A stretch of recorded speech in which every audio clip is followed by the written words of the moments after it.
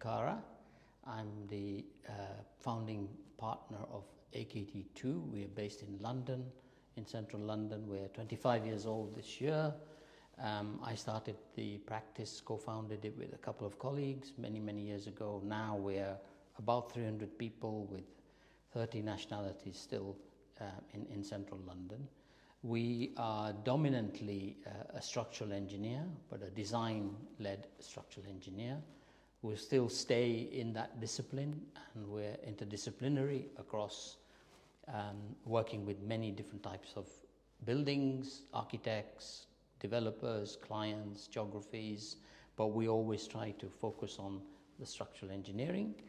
We're also very lucky that this week um, literally was announced the Stirling Prize that we won with Grafton Architects for the Kingston Townhouse building. And I say we're lucky because it's the fourth time in the last 20 years that we won this prize, which I think is, is a marker. It's also a, an indicator of the value of the culture that the practice has benefited from in London, but also who we work with and the type of buildings we've done. So we won that, which is kind of a, a credibility uh, marker, I guess, that you know we are now here. We're no longer uh, trying to prove anything. We just know how to do the, the great work, and that's what we're doing from London. I also teach and always have taught for all the 25 years that I've started to practice, starting with the AA, but in the last 14, 15 years at GSD, Harvard, which is a graduate school of design, it's an interesting thing for an engineer to be teaching at a school of design that is not necessarily a school of engineering. And there is this overlap between that and what we do as a professional practice.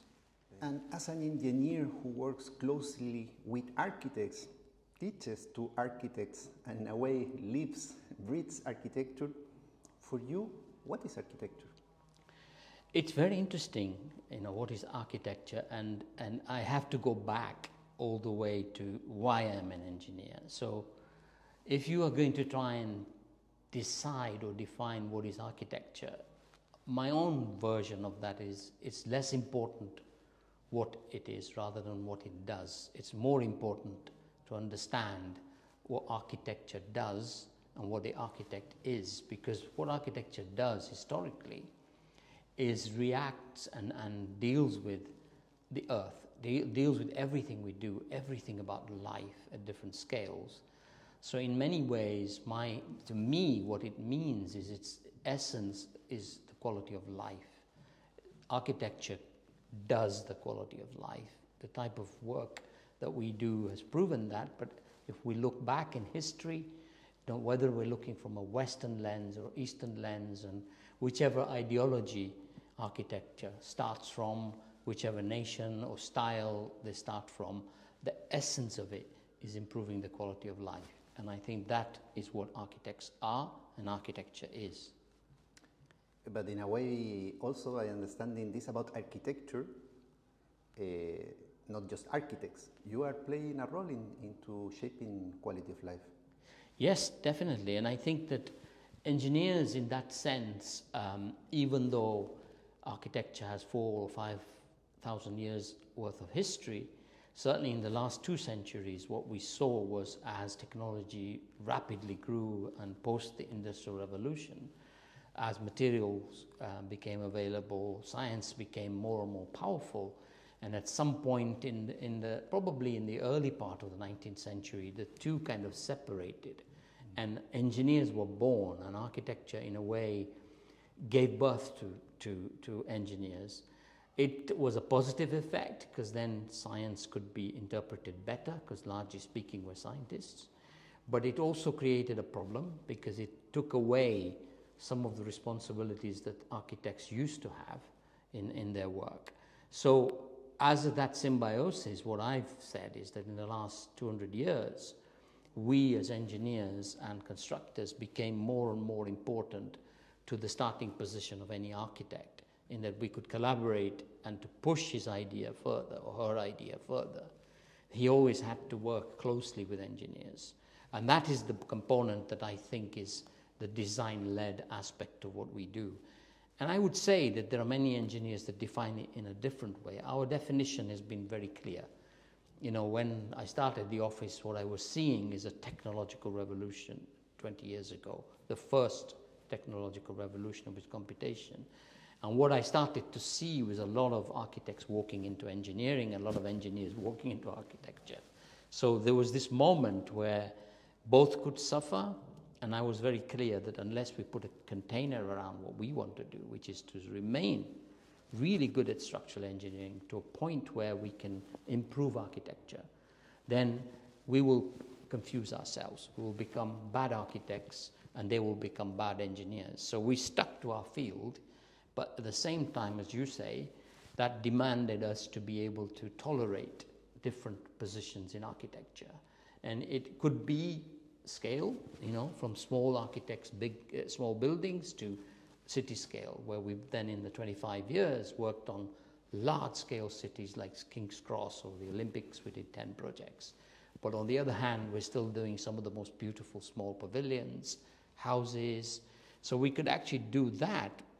Equally, we could tolerate the idea of working with different positions in architecture. You know, if you separate it in its simplest terms, some of them form givers, some find form, others are purists. You know, there are different places and phenomenon that the architect has divided himself into. And I would always say to people, you know, in the old days, in the 10, 15 years ago, we could we were working with David Chipperfield Zaha Hadid at the same time. This is two conflicts in some ways of the, the way in which a structural engineer can contribute to architecture. You know, one is pretty straightforward in, in what the role of the engineer is, but actually is, is much harder because it can be only the way it has been done before in the case of David's work, because it's vertical columns and slabs.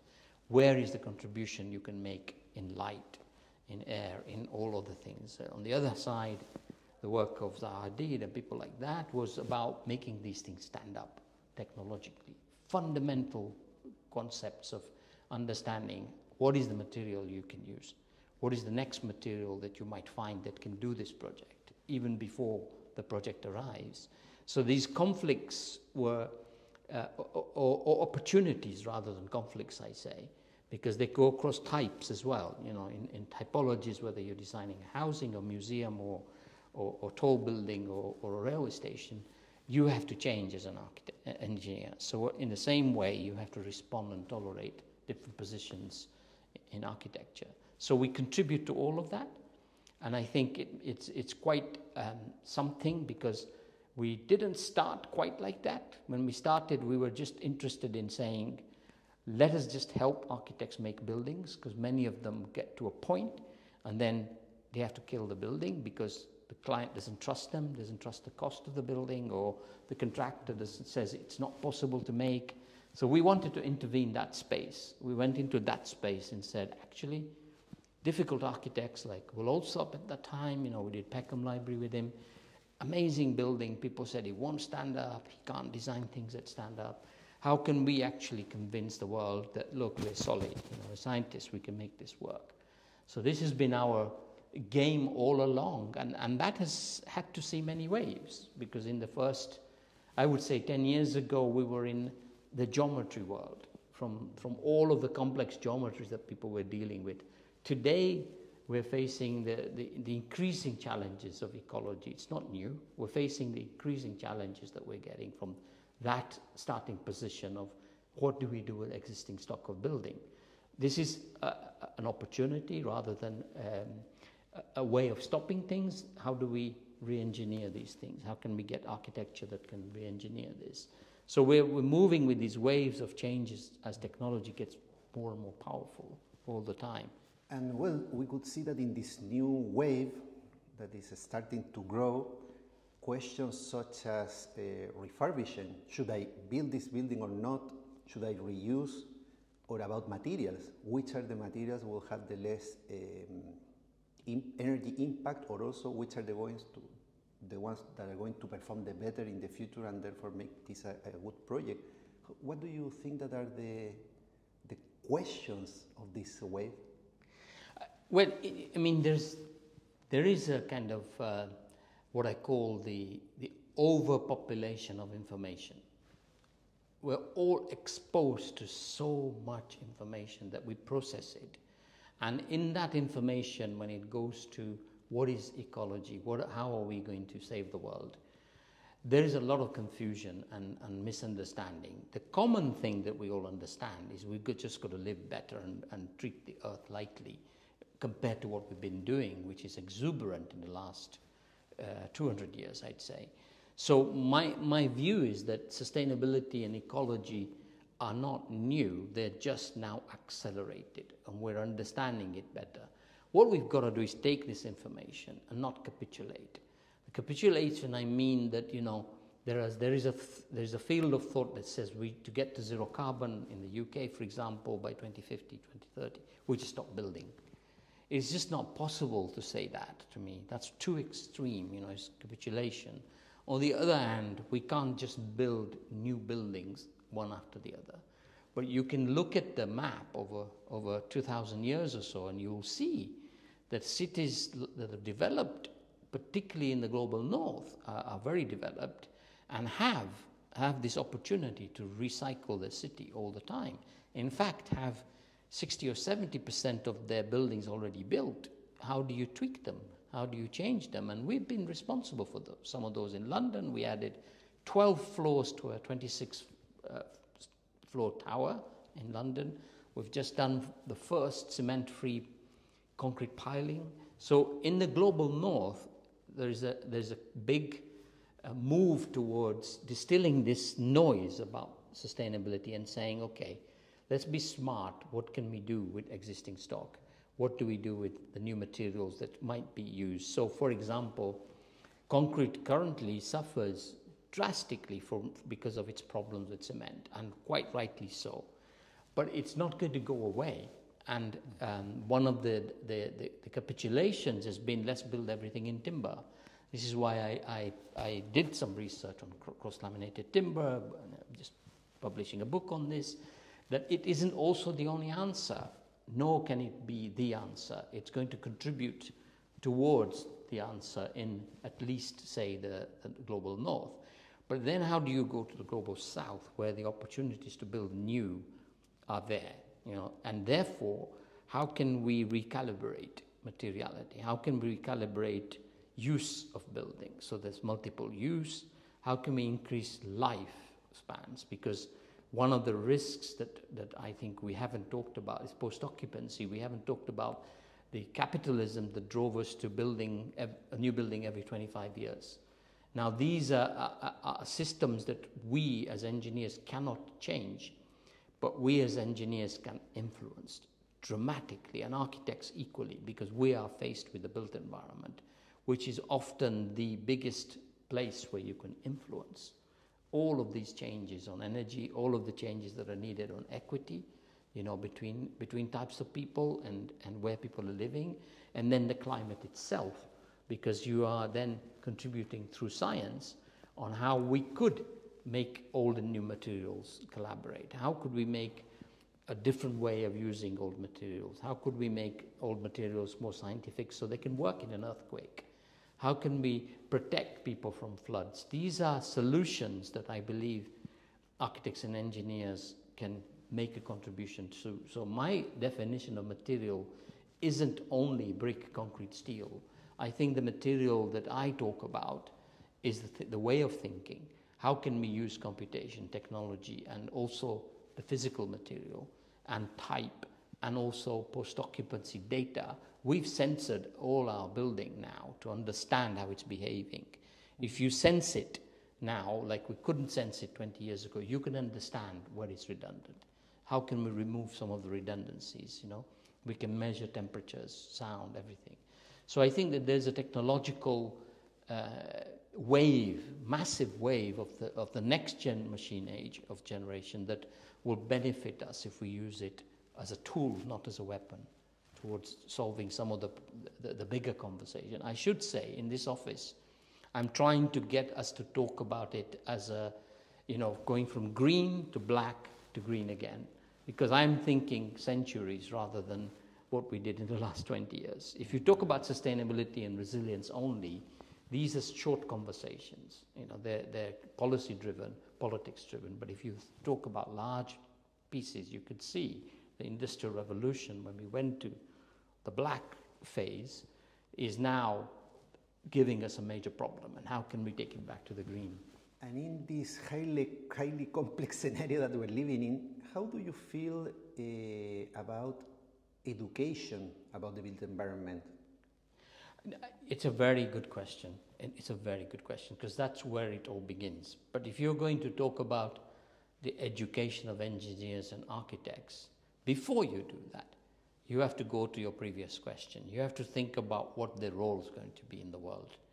Are they actually going to be allowed to do what they do today, make buildings, make roads, or are they going to have to shift their, their role and their discipline and profession to a point where the education system needs to collaborate or think ahead that position?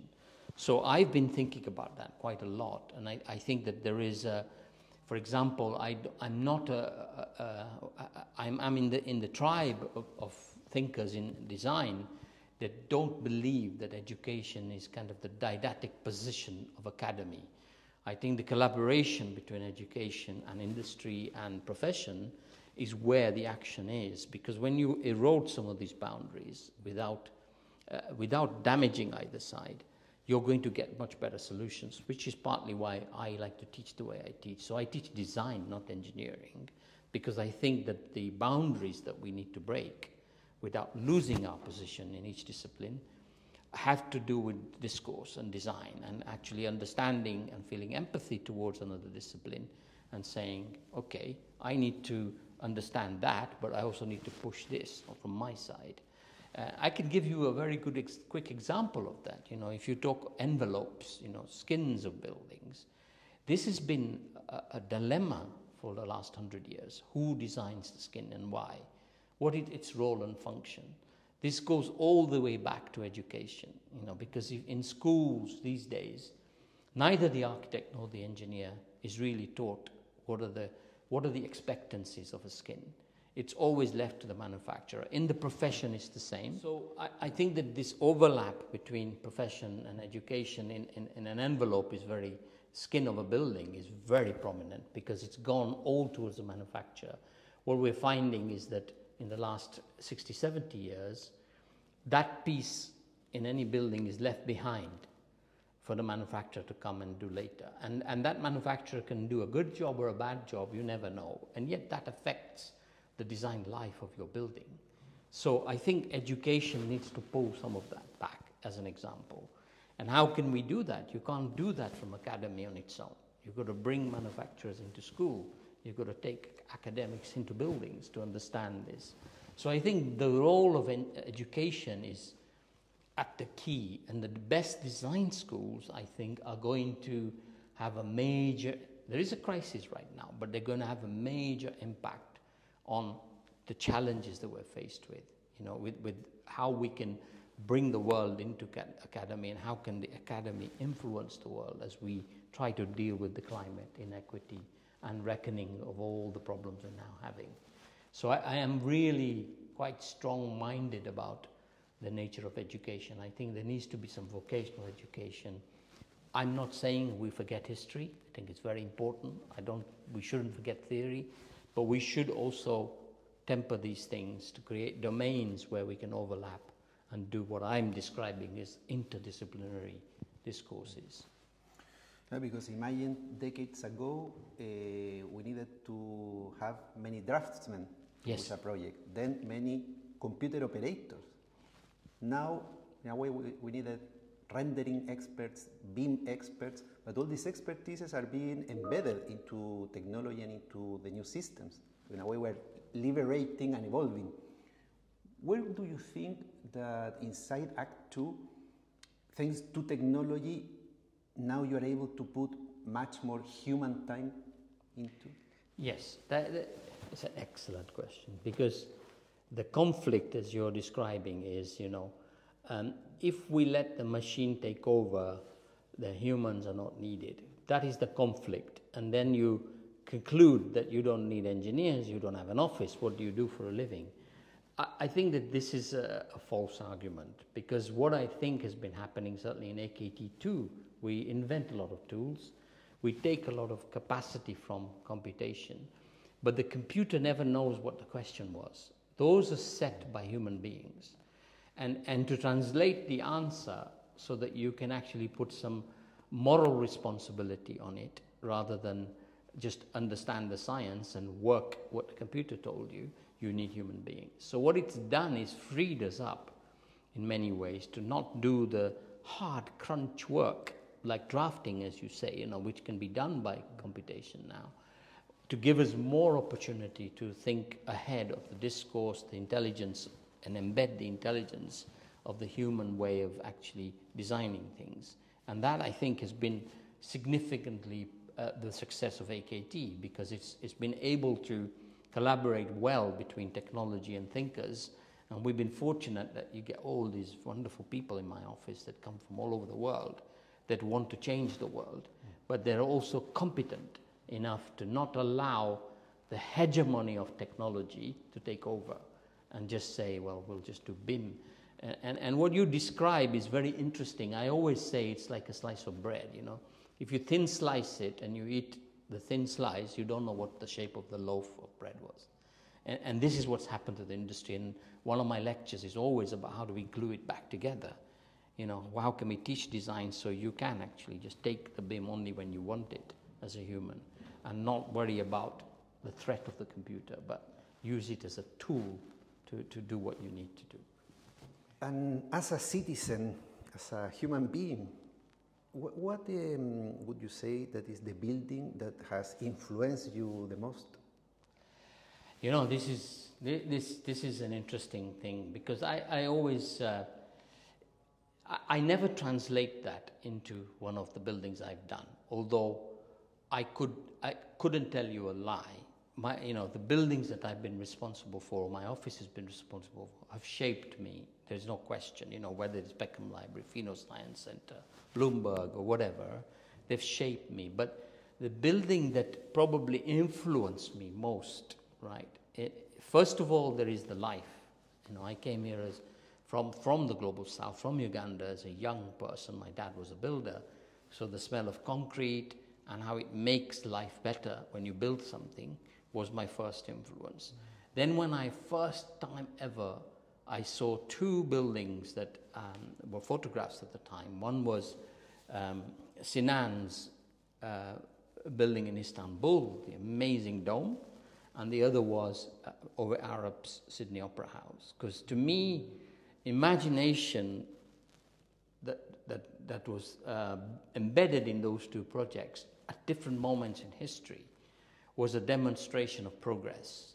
Both wonderful buildings, both create uh, not only symbols of technology and of their time, but they also move the industry far ahead so that we could do better housing because we were thinking about these types of projects. So these two projects, I think, have been you know, the Blue Mosque and, and the uh, Sydney Opera House would, would have been the projects I would select as kind of influencing my mind, let's say. But my behavior has been influenced, largely speaking, by a desire to be curious, to take risks, and to encourage people that, you know, at the end of the day, if you push yourself hard enough, I came with nothing, you will be able to create better buildings for people and more will come to you. So I'm influenced much more by other humans and different cities. I love going to all parts of the world. Perfect. And well, you have a, a big perspective because, for one side, you're working from London to one side of the world, working on large scale, complex projects that are pushing boundaries. But also, as part of the Aga Khan Award, you have another perspective of what is, let's say, the innovations that are coming from unusual context. Um, from this double, very wide perspective that you have, what do you think uh, on how architecture is evolving? Well, I think you, it's a very good point because this is the point that connects the, the, the global south and the global north. Because the Aga Award, which I got involved in 20 odd years ago, as I was the first engineer to be invited on the master jury, and I was exposed not only to many parts of the world, where um, I had never imagined how people build with just a small brick to, to some of the most complex buildings.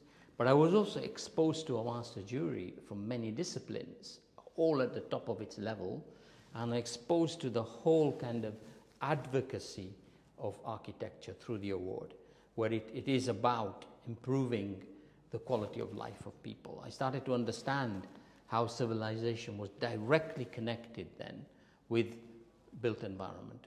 That was my first kind of understanding of not worrying about doing the tallest building or the longest bridge, but actually looking at this different perspective of buildings, whether they're in Lebanon or they're in Malaysia or they're in uh, China, wherever. What was fascinating is how the architects were tackling the problem of that place really well. And I think that that, you know, if I was to pin it on one, um, one point, which would be, say, the aesthetics, and, and pin it on what some people say, you know, the notion of mimesis is what drives the aesthetics of the West. You know, this idea of art creating a reality. The East, on the other hand, was ignored on the assumption that it's not doing that, or, or even the global South uh, is ignored in that way the, the, the aesthetics of those places are driven by geography, sometimes symbolism, sometimes religion, you know, all those other things. So even that, that one edge of architecture, which you could describe as the aesthetic edge, was transformed through seeing, um, you know, what was going on at the award. I was fortunate enough to review and understand projects in Sudan. I remember being moved by these projects and seeing the people talk about it. So I, I this is why I am a, still a very strong advocate of architecture, good architecture. It doesn't matter where it is, and, and whether it's a poor place or a, or a hot place or a cold place. How do the architects respond to the problem of the people that are going to use the building? How are they going to think about how it will be in 30 years post occupancy? And the Aga Khan Award does that because it, it actually selects carefully the, the short list through a very rigorous process you, you, you're part of that experience. Nobody else gives you that experience. Education doesn't, practice doesn't. So you get that experience, and then you get to see these people who built these. You see them at the winning stage. You go and visit the projects. Then you go back in 10 years and look again. I went to Burkina Faso to look at the school with Francis Kéré once, and so on and so on and so on. And you, it's all reinforces my, my own position in that architecture and its sibling engineer is a, a very relevant um, position to be in right now, right now when the world thinks it's going to end. You know, it's not going to end. You know, I think that these, these, these areas could actually take the opportunity and help to save some of the problems we're going to have. From the projects that you're currently working in and that you can tell us, yeah, yeah, yeah. Uh, what keeps you fascinated?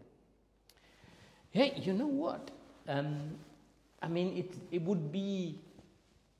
I mean, I, I always wonder why I didn't give up teaching. And, and I am challenged by curiosity. I'm challenged always by finding out what makes the other person happier or what makes them tick what can I do to inspire and motivate them.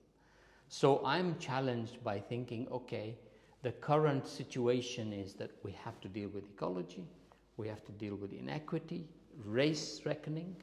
How is it that I'm going to um, enter that scene as an engineer and make a contribution that goes beyond making a building stand up?